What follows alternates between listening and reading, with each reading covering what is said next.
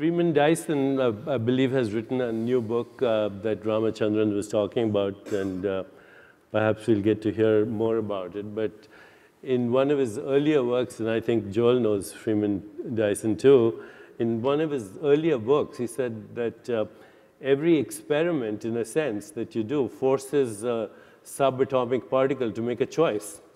Is that true? Would you agree with that statement? There's, uh, quantum theory is uh, nothing more than uh, choices that are made through observations. So who makes those choices? Um, ultimately, the, the observing self. But there are many people here, physicists, who say that um, that's all quantum physics, that's Copenhagen. There are at least 11 other interpretations of quantum physics, and somehow we can do away with, with the observer consciousness uh, in those other theories. Um, I would be very happy if we could get rid of that observer. um, because um, indeed, um, as a scientist, we can't really account for it. So in some ways, um, it would be good so to get rid of it. But I've come to the conclusion that we cannot get rid of it. It is there from the beginning to the very end. It is with us, and it will always be with us. And for us to deny it, it doesn't mean that it doesn't exist. Denial doesn't mean that you don't poof away. You don't say, okay, you disappear. I can deny you, I can say, Deepak, you don't exist. But you exist, you know you exist. So denial doesn't really mean that takes away the existence of certain things. And I think the, you know, our I awareness is the deepest reality. Yeah, but again, in Eastern wisdom traditions, the I, you know, if I say I, you use the word I too. But if I go inside the body, there's no I there. That's right. Right? Uh, I go there, there's no such thing as an inner I witnessing yeah. awareness. So in Eastern wisdom traditions, the I itself is also a qualia within consciousness. But the I that I'm talking about is the deep levels of awareness that are beyond objective reality. Beyond the subject-object Be split. Beyond the subject-object. So ultimately, the complementarities that I was referring to, it is through those complementarities and through these observations that the universe manifests. But ultimately, the other side is the involution and then eventually you reach a level that objects don't exist. That is called the witness consciousness. So the witness consciousness is, and I think we can sort of have a little hint if we maybe take a little experiment with the audience. Mm-hmm. Okay, so we'll ask everybody to just um, make yourselves comfortable and close your eyes for just a couple of minutes.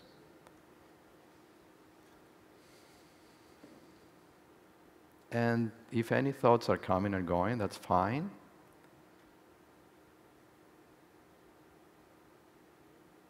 Now, between the breaths, just follow your breath. But between the breaths, as the breath comes in and the breath comes out, there's a moment of silence. Just focus on that between in breath and out breath.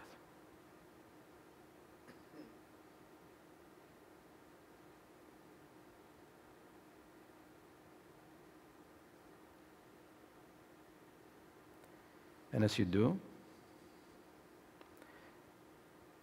you will notice that the thoughts begin to dissolve away.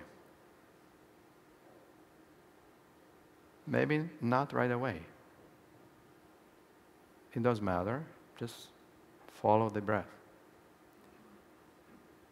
They say that space between the in breath and the out breath ultimately is the witness consciousness that we talk about. We can open our eyes. It's a simple exercise. You can do it at home. If there is a witness consciousness, then it must apply at every level. It cannot be an esoteric, mystical thing that exists somewhere else. It has to be here and now. So, no one, I believe, will deny their own breath. And as far as I'm concerned, that's what I would call cosmic consciousness. Can it's we try something else? As you're listening to me right now, all of you, just turn your attention to who's listening.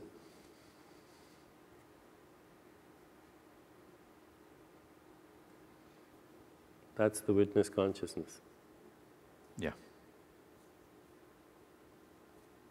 So would you say that's in the discontinuity, that's in the space between space-time events? It is from that space that space-time events arise. Hmm. And they dissolve back into So it. I was recently at the Max Planck Institute, and Yeah. somebody there was no longer using the word subatomic particles. They were calling them haps, happenings in Happenings. consciousness. So a subatomic particle is a space-time event in consciousness. That's right. Would you be sympathetic to that notion? Absolutely, absolutely. It was Heraclitus, ancient Greece, who was one of the first philosophers who talked about everything moves. And he was talking about the process as being reality, not hard particles of Democritus, not the atoms. They don't exist. In And a way, when you observe something, Yeah, you kind of freeze the, freeze the movement of consciousness. You, it's an artifact, isn't it? you freeze the frame. But when, as soon as you observe something, it has changed. Our, our cells, as you know, change. Within seven years, every cell in our body has, has changed. And only a few brain cells last for a lifetime. Not all of them, but. So, what keeps this awareness? What keeps this wholeness in the body if the very cells of our body change all the time. It's a computer. If you want to use the analogy of a computer, it's a computer that continuously invents itself. We have not built a computer like that yet because the, the hardware in our computer is always there, right? It's the programs, programs that change. But in our case, the hardware itself changes. Okay, we're going to run out of time because we have lots of other very interesting discussions. But uh, I just want to ask you two questions. Uh, one is uh, the Bem experiments that you're involved with. Uh, Yes. Could you explain a little bit about them? Um, the Bem experiments were done by uh, Bem. Uh, a, re- a retired uh, professor at um, Cornell. Uh, there's nine, nine of them, and uh, actually he uh, published again uh, six of them. Very interesting. Basically, um, one of the experiments I'll just describe, I think it was number nine. Uh, subjects who were really students at Cornell were asked to um, not study for an exam. They, they were told they were going to take an exam, okay, but they're not going to study an exam. So they took the exam, and then half of them, I believe, they were asked to study for the exam. And the other half never study. The ones who study the exam for the exam after they have taken the test actually turned out they did better in the test that they had already taken. You understand? So it is like a retrocausal. It is like the future is entangled with the past. Now, I think um, Henry Stapp will tell us a little bit about it more, and I also agree with Henry. I don't think it changes the arrow of time. I think, the, at least in the physical sense.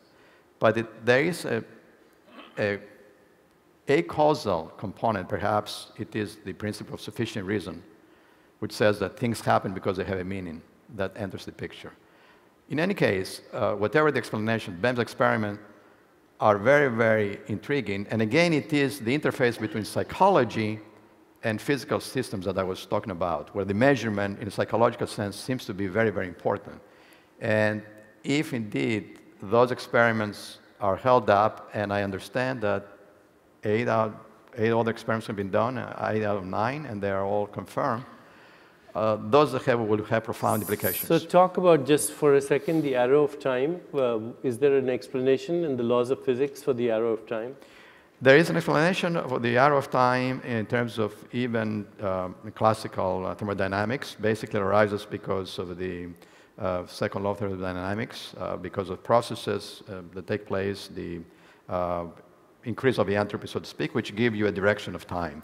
At the quantum level, uh, time can go in either direction. In fact, there is a theory by Aharonov uh, that you can have two arrows going back. And in fact, uh, it was um, uh, Dirac himself who believed in two arrows of time because of the, you know, a positron can be considered as a, as a particle running back in time. So at the quantum level, time doesn't seem to have a preferred direction. At the cosmic level, it seems to have a direction.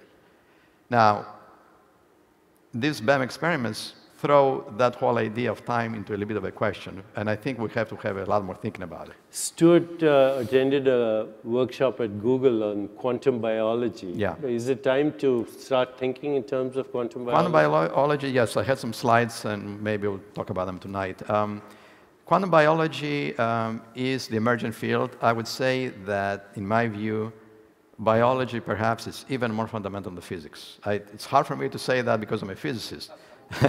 but um, it, it looks like in the reductionist approach that building up, remember I showed you those scales, building up from the, uh, all the way from the atoms or even below that, the, the particles and maybe even the superstrings, all the way to molecules that eventually give you DNA, to get biological systems to work, it just, there's nothing in physics, there's nothing in the, in the dynamical laws of physics that will give you that.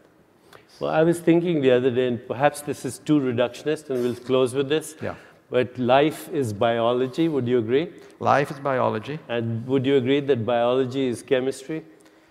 Biology is chemistry. Would you agree that chemistry is physics? Uh, and, and, I know where you're going. It's uh, strings, etc. And of course, ultimate is vibrations. Well, I was going to go a little slowly. Would you agree that physics is quantum mechanics? Yes. Would you agree that quantum mechanics is mathematics? Um, I would take quantum mechanics into vibrations, and then I would go to mathematics, yes. And would you say that mathematics is in consciousness? I would say mathematics and consciousness, and therefore, ultimately, perhaps all of this is, is in a Platonic realm, and maybe Plato was right after all. Thank you.